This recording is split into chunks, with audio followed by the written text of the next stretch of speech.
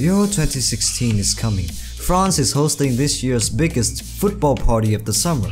If you have been watching football for any more than no seconds in your entire goddamn life, and you would know that France is some kind of a place with pretty pretty good footballers. However this year it is kinda important that they win the whole thing for several particular reasons. I am Eagles and Angel and here are 5 reasons why France will win the Euro 2016. Number 5. It is happening on their own turf.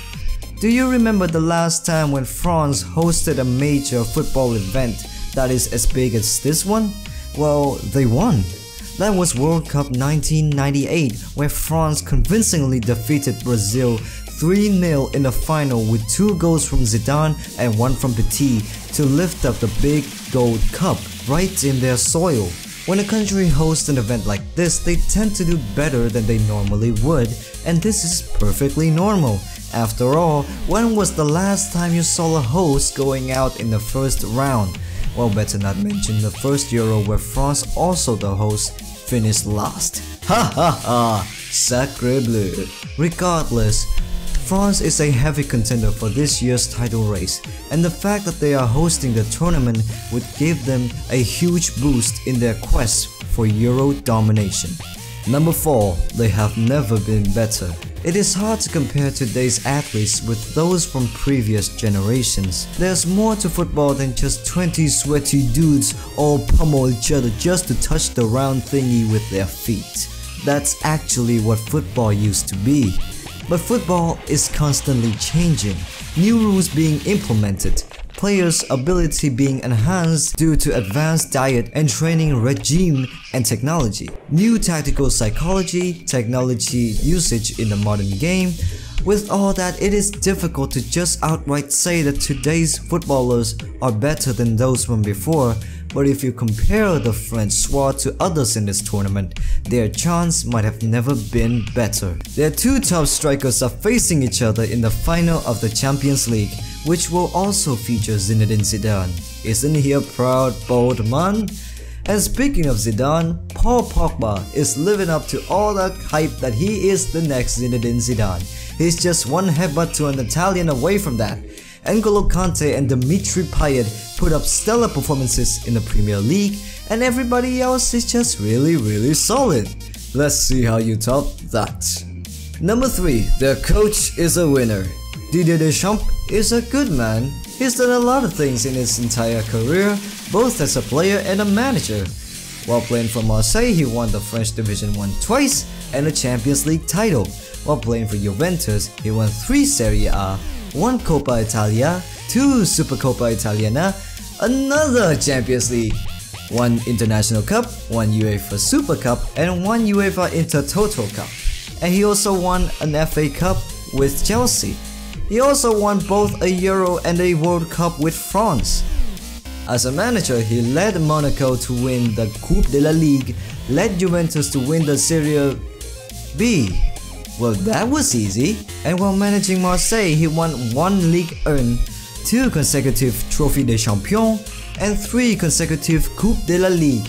Just face it, the man is a champion. He literally has champ in his name. But one thing that Deschamps hasn't got is a title in the international management level. Maybe that can all change this summer. Number 2. The Paris Attack. And there's nothing even funny about this. 2015 was somewhat of a bad year all around. One of the sad things happened was the Paris terrorist attack that happened on November 2015. Yes, there were bombing in several other locations, but the one that took place in the feet of the Eiffel Tower attracted the most attention and was for the right reason. On the night of November 13, there was a series of coordinated terrorist attacks occurred in Paris and its northern suburb Saint-Denis. 130 people died, 368 others were injured. My condolences to all the victims and their families. If you want to know more about the details of the attack, look it up. I won't go to this because it still brings a tear to my eye every time I think about it. The Euro 2016 could have easily been cancelled or relocated just because of this attack. There were multiple meetings featuring the higher-ups in the organizing committee just to discuss whether or not France would remain the host or should the role be given to another country. But despite all the dispute, France remained the host. With all the tension regarding national security, everyone involved should show the world that terrorism would not break the spirit of this beautiful game and as the host, it is Le Bleu duty to step up their game and put on the performance of their life. A number one, everyone wants them to win. Hold on, hold on, hold on, hold on, hold on. I'm saying this from a neutral point of view, so sit down, like the video and keep watching it, okay? Football is a beautiful game because it is unpredictable. That's why people love football. Unlike somebody, it is the game that anybody can win and miracles happens once every now and then. And we should always expect the unexpected. Sure, Spain and Germany are heavy contenders and they have the most Euro wins with 3 for each, so I don't want to see them win.